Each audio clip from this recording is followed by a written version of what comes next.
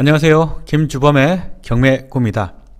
지난 시간 우리는 최고가 매수 신고인의 결정을 확인했고 이어서 차순위 매수 신고인의 결정을 확인했습니다. 이렇게 입찰 기일에 최고가 매수 신고인 그리고 차순위 매수 신고인 여부에 대한 결정을 하게 되면 법원에서는 매각 기일에 종결을 고지하게 됩니다.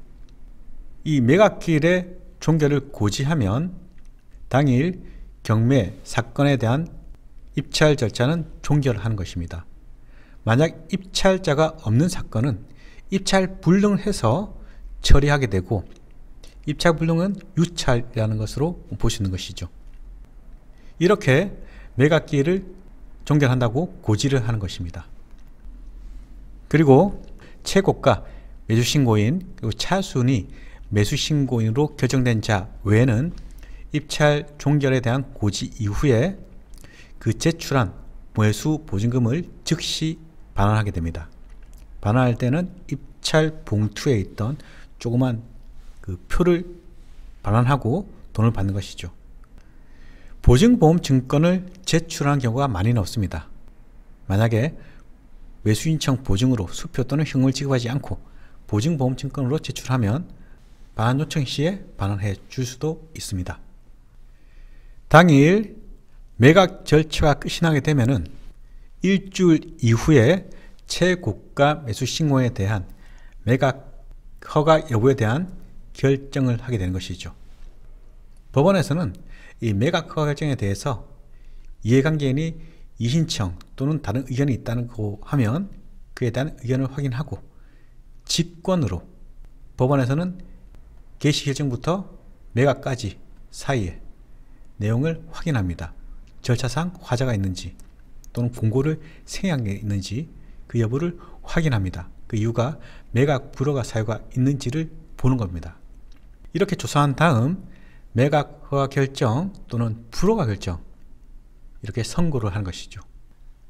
만약 매각 허가 또는 불허가에 대한 이의가 있다라고 하면 그때는 즉시 항고로서 다툴 수 있습니다. 이 경매 절차에서 이해관계인은 매각 허가든 또는 불허가든 이 결정에 대해서 즉 집행에 대한 처분에 의해서 손해를 볼 경우에는 이 즉시 항고를 할 수 있고 그 이유가 없거나 또는 결정한 내용 그 외의 조건으로 허가할 때 이때에도 즉시 항고를 할 수 있습니다.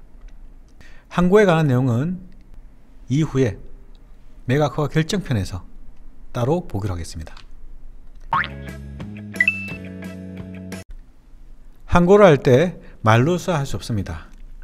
해당 사건 번호를 기재하고 항고하는 자에 대한 성명과 주소를 기재해야 됩니다. 그리고 항고의 내용, 왜 하는 것인지, 어떤 항고인지, 매각 결정에 대한 결정을 받았다. 그런데 전부 불복한다. 이런 취지로 항고를 하는 것이죠. 그리고 내가 원하는 항고의 취지, 원결정, 즉 매각 허 결정에 대한 것을 취소해라. 또는 매각 불허가를 취소해라. 이렇게 취소한 이후에 다시 상당한 재판, 가령 매각 허 결정했다면 취소를 하고 새로 진행하라. 또는 기존 매각 허 결정에 대한 불허가를 했다면 불허가를 취소하고 결정을 해라. 이런 취지의 내용이겠죠. 그 이유는 그 어떤 이유인지 기재해야 될 것이고 그 첨부 서류는 내가 항공이 될 수 있는 이해관계인이고 이러이러한 사유가 있다라고 증명 서류를 붙여야 됩니다. 날짜와 항공인에 대한 표시 도장 찍고 그 해당 법원에 제출한 것이죠. 현재 진행 중인 경매 사건이 진행 중인 법원에 제출하게 됩니다. 이 법원에서 최고가 매수 신고에 대한 매각 허가 결정이 되면 확정 절차를 거칩니다. 일주일이라는 기간이 지나면 확정되는 것이고 이때 법원은 매각 대금의 지급 기한을 정하게 되는 것이죠. 그리고 이 지정된 지급 기간 내에 매수인에게 매각 대금 납부하세요 라고 납부 명령을 하게 됩니다. 이른바 잔금에 대한 지급이죠. 이 매수인으로 지정된 자, 즉 최고가 매수인이 매각 허가 결정이 되고 일주일이 지나면 이제부터는 이 지급기간 이내에 언제든지 매각대금을 납부할 수 있습니다. 단 진행되는 물건에 대한 채무자의 변제가 되었다. 채권 변제 이에 따라서 경매 절차에 취소가 있다. 또는 경매 신청한 원인이 무효되었다. 이럴 때는 매각대금 납부가 불가능할 수 있습니다. 매수인은 매각대금 납부할 때 해당 경매계에 매각대금이 납부 가능한지 그 여부를 확인해야 됩니다. 만약 지정된 기간까지 매각대금, 즉 잔금을 모두 납부하지 않을 때에는 이 법원에서는 이 차순위 매수인이 있으면 이 차순위 매수 신고인에게 매각 허가 여부를 결정하게 되는 것이죠. 차순위가 없으면 재매각 명령, 새로운 기일을 정해서 또다시 매각 기일이 지정되는 것입니다. 매각 대금을 납부할 때에는 첫 번째 매수인은 이제 해당 경매계에 방문하게 되죠.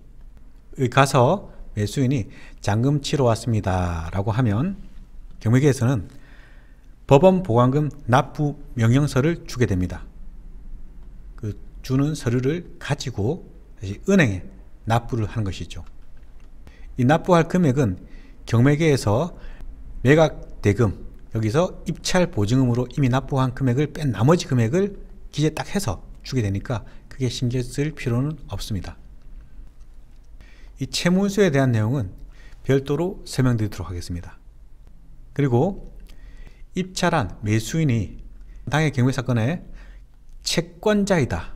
이때에는 법원에 낙찰받고 매각허 결정, 즉 낙찰받고 7일 이내에 채권 상계 신청을 하면 배당기일에 내가 받을 배당금 제외한 나머지 금액만 납부할 수 있는 것이죠.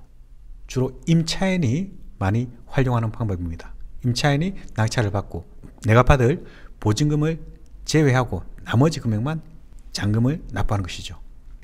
이 관련된 내용도 해당 물건을 보면서 같이 한번 보도록 하겠습니다.